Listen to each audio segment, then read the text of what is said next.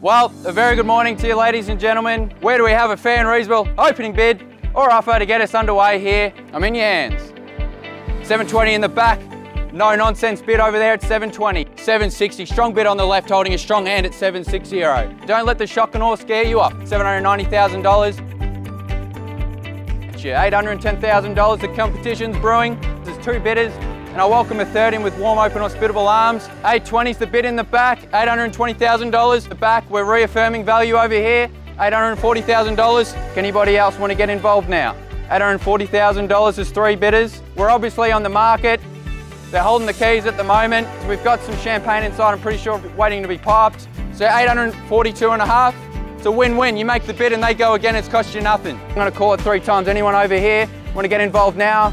45? 45, there we go, right on the tail end. Did my song and dance and came back and got a couple more bids, so I've got to do it again. What, 50? 850, 55, 60, 860, there we go. Done, absolutely sure, sell it.